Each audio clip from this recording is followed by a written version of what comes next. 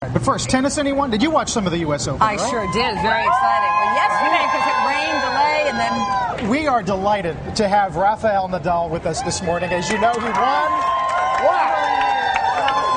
the U.S. Open Championship last night.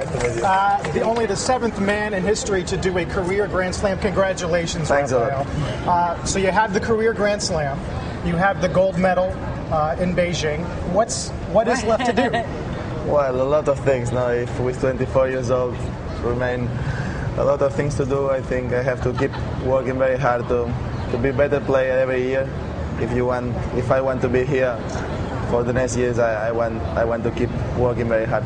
you know, rain was an issue in the finals. Sunday was delayed. I mean, uh, it was postponed actually to Monday, and there was a rain delay Monday. You finally finished up. It Took almost two hours last night. How much did that affect you mentally and physically?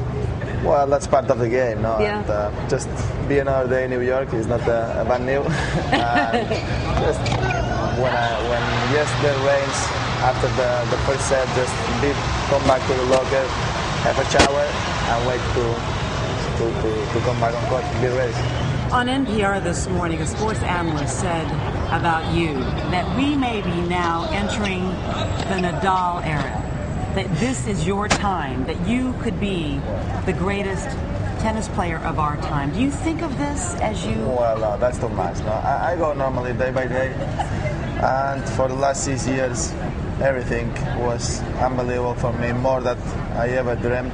So just it's an honor for me complete the career Grand Slam win here in, in New York is, is is unbelievable for me. You know, it's more than I ever expect. And right now is what I said before. Just keep working hard to, to try to have more chances to, to be in, in the in the final rounds. Well, this was hard won, uh, and you look really good with it too, don't you did. think? Thank you, nice yeah. looking Amazing trophy. trophy. Beautiful. Congratulations. Congratulations. Hey, now I can see why you can hold that tennis Yeah. racket Yeah. pretty well. That's a pretty good grip. Thanks a lot. Nice Thank see you. Congratulations. Congratulations.